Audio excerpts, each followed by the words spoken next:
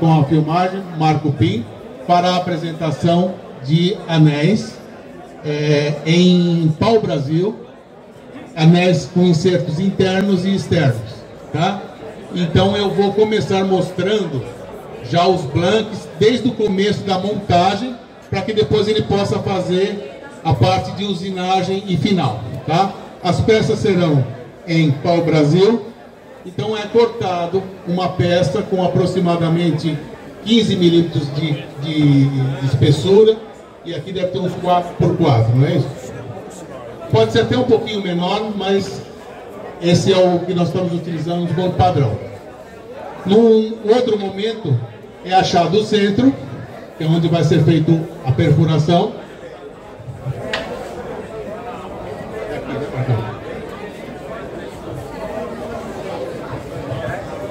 Aqui nós colocamos numa madeira de sacrifício, preso, preso no mordente, e é colado aquela peça que nós previamente selecionamos com cola de dupla face aderida aqui e é feito um torneamento mais grosseiro, dando um formato já com uma certa espessura do anel certo? Selecionamos o diâmetro do anel. Como que é feito a seleção do diâmetro do anel? De duas formas. Pode ser feito se comprando essa parte de aço inox, o anel. Então, com a medida externa, se faz uma, um escavamento aqui, que ele entre bem justinho dentro desse, dessa cavidade feita aqui. Esse é o mais convencional. Existem também esse tipo de anel que tem as duas laterais de metal com uma alma metálica e, o, e, o, e o, a madeira ficará no centro. Tem, tem algum aqui para mostrar? Aqui. Esse aqui, né? Esse. Então, é, tem a alma central e duas aletas coladas. Tá vendo? Que depois vai ser torneada aqui. Neste momento, neste momento, se faz a, a usinagem aqui e depois se corta, deixando apenas o centro já colado com cola cianocrilato, que ele está solto, né? Se cola aqui e tira-se esta peça que vai ser colocada neste mandril. E esse mandril ficará desta forma, a peça já colada, colocará, sendo colocada aqui no mandril, e aqui onde nós vamos começar efetivamente a usinagem. Então nós vamos usinar deixando uma parede é, com um perfil é, convexo, abaulado, com uma espessura bem pequena, é entre um milímetro e um milímetro e meio no máximo. Então, para ter, ter um anel bem delicado, ele terá uma alma de aço inox por baixo. E a partir de agora, que o Marco fará a usinagem. Então ele vai fazer a usinagem, o lixamento, e eu vou narrar aqui, e o acabamento com cola cianocrilato, várias camadas, para ficar bem brilhante e vitrificado. Então é agora que começa a parte de acabamento, tá bom? Então é com você, Marco. Vamos começar aqui. Ele vai usar uma goiva com um perfil bem afinado. Essa aqui é uma goiva com um ângulo de aproximadamente 30 graus, é isso? 60 graus. E é nesse perfil, deixa eu só explicar uma coisa. Esse é um, é um acessório que ele tem várias graduações, né? E aqui tem um parafuso. Então se coloca o anel aqui, aperta-se esse parafuso, ele é um mandril que ele abre assim. Então ele vai deixar essa parte presa para ter bastante confiança na usinagem. Tá? Esse particularmente foi o Marco quem fez, mas existe no mercado outros que fazem a mesma função. Tá bom? É, a velocidade do torno para fazer esse tipo de coisa, ele vai começar aqui com uma velocidade de aproximadamente alta. Né? Aproximadamente aqui, tá, no máximo é 1300 para essa polia aí, tá? 1300, 1400 RPM, tá bom? Precisa ter velocidade alta para se conseguir um acabamento harmônico e perfeito. Observe a cor do pau-brasil, como já vai saindo e já manchando o dedo. Né? Uma madeira macia e muito interessante para esse tipo. a, a delicadeza na confecção do anel, que tem como alma uma, uma alma de aço inox, é a espessura. Um anel não pode, ele é muito descômodo na mão quando ele é muito grosso, pelo menos para os homens, né? As mulheres já estão mais acostumadas. Mas a delicadeza do abaulamento e a espessura fina é o que vão determinar a, a qualidade do anel e a delicadeza dele. Mesmo porque tem que se deixar uma sobrinha, porque vai ser feito um lixamento depois e vão se aplicando algumas camadas de cianocrilato, onde aparecerá mais ainda a coloração do pau-brasil e os detalhes da, da usinagem. Né? Então veja como esse mandril facilita bastante para fazer a usinagem. Olha, ele já está quase chegando na medida necessária, né? na medida que ele imagina que seja com delicadeza, né? obedecendo sempre um critério de harmonização na usinagem. É muito delicado, porque se passar um pouquinho ele já chega no, já chega no metal, aí perde a peça. Então esse ponto de equilíbrio ele é bem delicado, é bem importante. Né? Mesmo porque é uma peça abaulada e nas extremidades termina praticamente em zero. Né? Então não pode, tem que ter muito cuidado na usinagem. Já chegou, Marcão? Bom. Deu.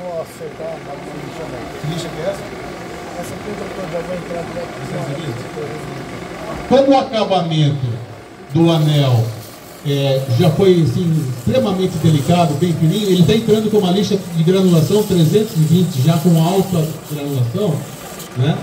E ele já vai mostrando e dando, e dando um shape final né? da, da peça. Né? Dá uma lascadinha. É, é normal dar uma lascadinha. Mas é, Deixa eu ver. Ele lascou aqui. Eu quero ver, ele lascou aqui. Então agora é feito o processo todinho com, com a lixa de 320, né? A própria lixa já vai dando uma conformação, principalmente nas laterais. É. Tem uma pequena lascadinha numa das pontas, mas o que importa é o processo, ele fará mais dois outros anéis. Inclusive aquele com inserto central. Então, aqui é onde tem a delicadeza de ele morrer a zero nos dois cantos. Né?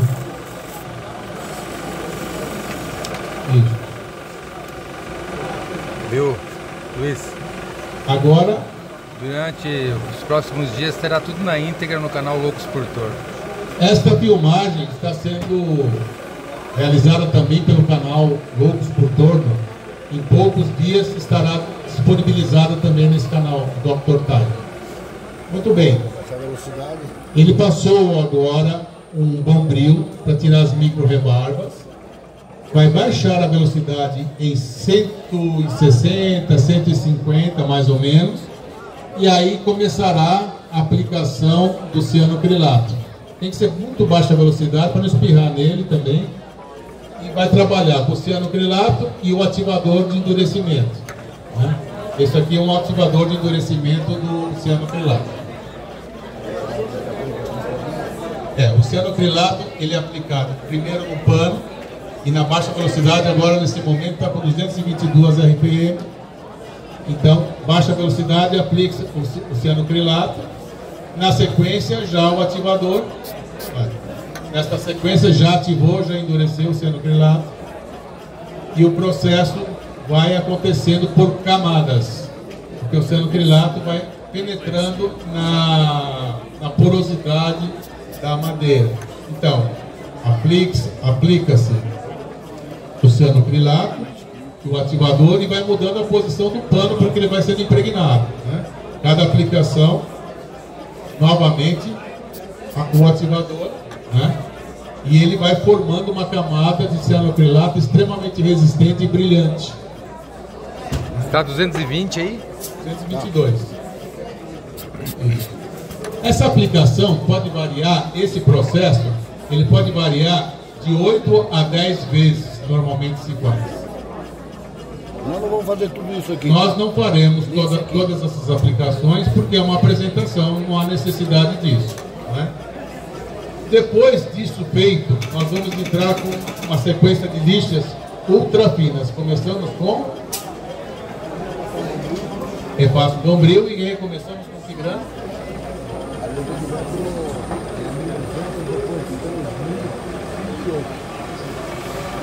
Depois do bombril, tirar as micro rebarbas, a lixa vai para 1.200 1.200 com pasta de polir. com pasta de polir, depois 1.500, 3.000, 5.000 e 8.000. Então, o 8.000 e o 5.000 já gera um, um, um acabamento de espelho, né? É, se usa uma massa de policarro, é a número 4, né, Marco? Massa de polimento de carro número 4, que é para ajudar no polimento. E depois o restante tudo feito na lixa até 8 mil. Pode-se colocar a massa diretamente na lixa, se faz um lixamento e um polimento ao mesmo tempo. E aí você já começa, ele está na 1200, você já começa na 1200 já verificar o espelhamento da madeira. né? E à medida que vai subindo a granulação, esse espelhamento vai aumentando. Ele já está em 3 mil, né? Já está em 3 mil. Nos 5 mil.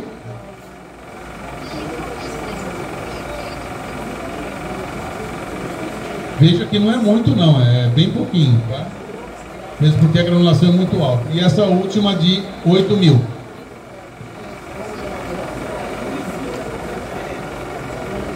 Agora vamos passar as costas da lixa. Agora ele vai passar as costas da lixa com o polidor, que é a última etapa. Olha como acendeu. É, com as costas da lixa, olha como sobressai o brilho do anel.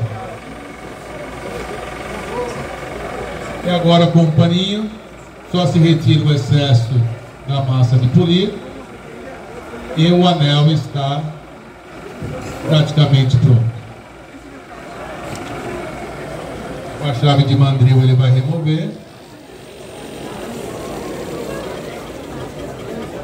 Isso.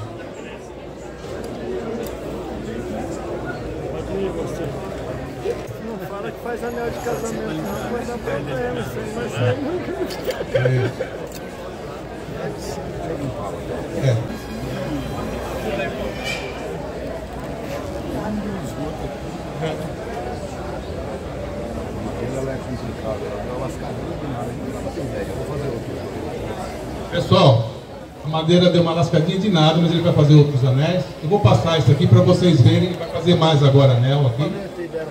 Só para vocês terem ideia de acabamento, tá? Desconsiderem esse pequeno, esse pequeno alto quadro, foi é, porque a madeira é bem dura, mas vamos fazer mais dois e não vai acontecer. Faço para vocês verem o acabamento. aí. Esse anel ele é interessante porque ele é aquele que a alma é interna e tem duas partes laterais. Então haverá dois filetes laterais metálicos. Esses anéis aqui é, esse anel ele é plano em cima para obedecer, ele não tem curvatura. Ele é para obedecer as laterais que já, já tem uma planicidade aqui. né? Então agora começa o processo de usinagem novamente.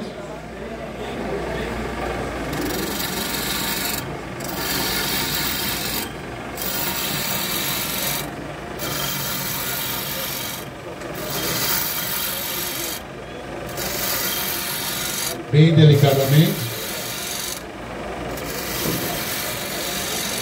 E esse tem um outro, um outro perfil, é um anel mais largo, porque justamente ele tem as duas laterais, as duas bandas em metal.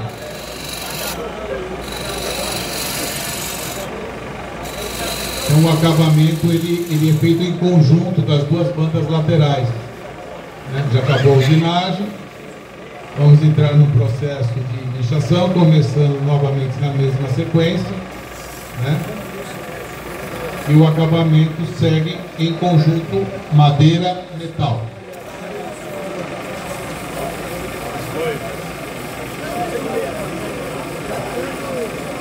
é uma atividade assim bastante delicada, né? Requer um cuidado muito grande porque a madeira é muito dura e ela trabalha um pouquinho? E não pode bobear porque senão realmente perde a peça. Né? Nesse momento já entra com o bombril. Esse perfil de anel, é, o acabamento não é recomendado ser feito com cerobilato, porque ele tem uma camada de metal dos lados. Então o polimento é feito na madeira, juntamente, juntamente com o metal, e a indicação aí é uma cera para madeira, porque é a cera Barcelona, é, comercializada pelo Dr. Valcir aí no, no site dele, e ela já vai, ela tem carnaúba na composição, e ela já vai ressaltar e fazer um polimento simultâneo do metal juntamente com a madeira. Né? Essa aqui não tem nenhum risco de lascamento, né? Então vou mostrar para vocês. Ela já a peça já já está pronta porque é só a aplicação da cera. Né? Eu vou passar para vocês para vocês verem que bacana que é esse esse perfil.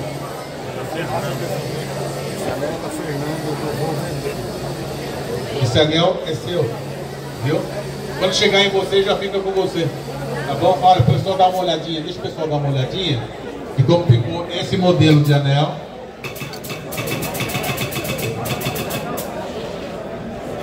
Vamos fazer mais um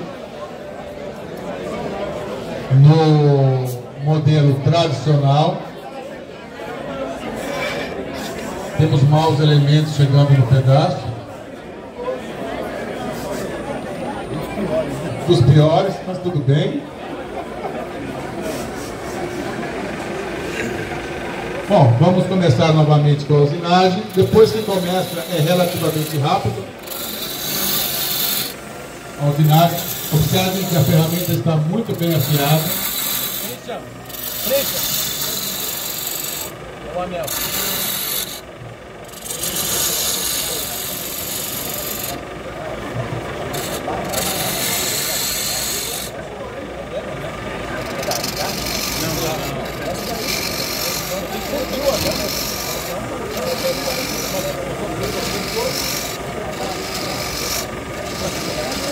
Vamos fazer o teste. Sapatinho de metal. Confere no mil.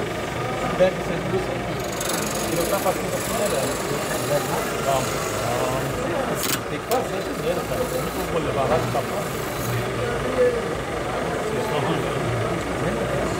Continuamos a usinagem, no mesmo perfil do primeiro anel.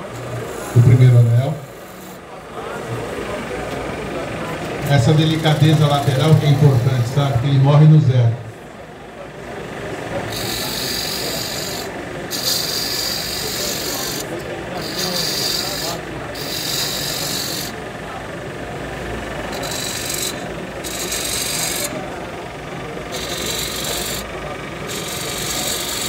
Quando vai se fazer esse tipo de trabalho, normalmente se faz todo o processo com várias peças. Né? No mínimo 10 peças. Né? Porque aí faz por montagem, prepara os blancos, a colagem depois faz todo o acabamento. Né?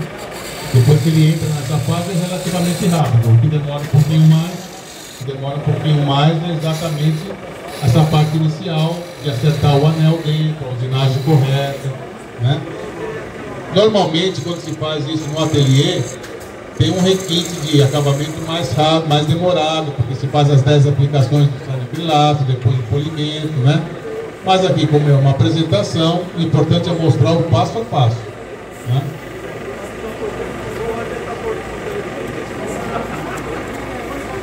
Então agora inicia o processo de lixamento, principalmente nas áreas terminando em zero laterais. Esses anéis têm essa alma metálica de aço inox mais finos, mais largos. Vai comprar, eles têm dourado também, e aquele metal gun, que é metal de, E a, de, de arma, né? Cinza mais escuro. Então, quando se vai comprar essas peças, é interessante ver o perfil que você quer fazer de anel, né? Ele não tem exclusivamente na cor prata, né? Tem outras também. E, e essa dourada não sai, viu? Ele é um, uma aplicação de dourado no inox. São, são todos anéis em inox. Veja como ele é bem flat, bem delicado, bem baixo. Em sites estrangeiros? Em sites estrangeiros são adquiridos. No Brasil não tem. Esses. Muitas, muitas Tem? perguntas. Tem? Alguém me pergunta sobre onde encontrar essas, esses anéis, essas partes metálicas, né? Este, exclusivamente, que ele é o anel, vamos dizer assim, entre aspas, mais simples, que tem a aliança de aço inox, você encontra em caixas aqui no Brasil, você acha no Mercado Livre, né? Agora, aquele que tem as duas laterais, eles são americanos. Né? E não tem no Brasil para vender. Mesmo porque esses aqui são vendidos como alianças. Não, são, não é para esse fim. Uma outra coisa que eu esqueci de falar é que quando vai se fazer a colagem da aliança dentro do, da madeira, a gente lixa um pouco, uma lixa um pouquinho grossa, para formar uma ranhura na parte externa, para ter uma adesão melhor da, do cianocrilato na, do metal com a madeira. Né? Então agora ele já está na fase do cianocrilato, aplica o cianocrilato, ativa, né? muda o local, tira o excesso e assim sucessivamente.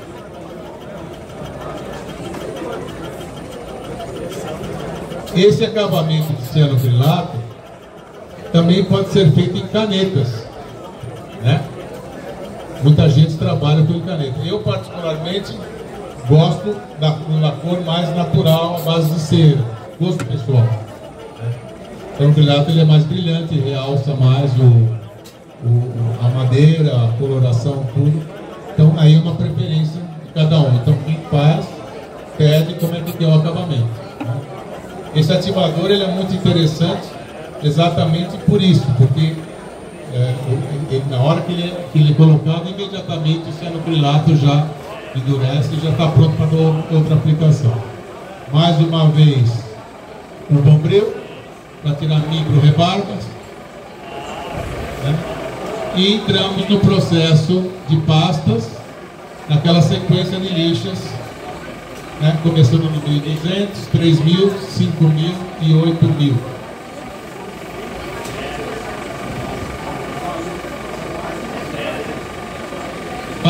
também a lixa usando a pasta de polimento automotivo. Normalmente se utiliza a número 4, que ajuda no polimento junto com a lixa, que é extremamente fina. Né? E aí ele começa já a ressaltar a coloração do pau-brasil. Muito interessante, muito bacana. Se faz muito para alianças de casais. Se mede o dedo dos dois e se faz para presentear o casal, não só individual, mas alianças, inclusive, é, compromisso, noivado, etc. Mas o requinte de acabamento é muito bacana, é muito interessante.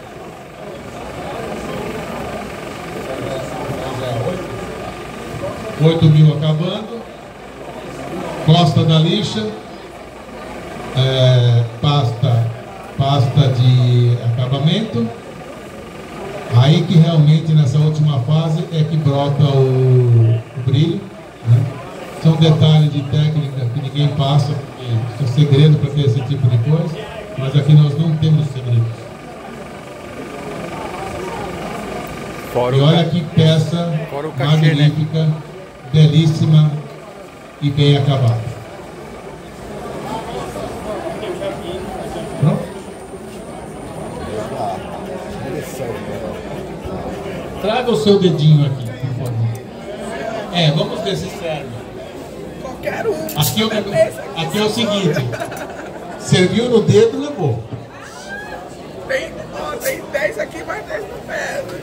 Vai encaixando, numa hora serve um. Não serve. Só está passando lateralmente para tirar alguma pequena. Mas Claro. Ela viu que realmente você gosta, né? do assunto.